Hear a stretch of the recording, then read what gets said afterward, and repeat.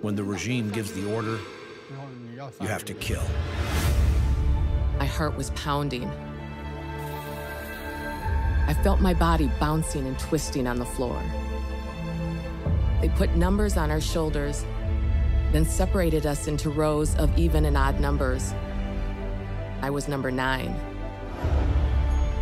My brother, he's still in prison, and my sister, she was sent to a labor camp without a trial. But there's one piece of evidence they haven't been able to destroy yet.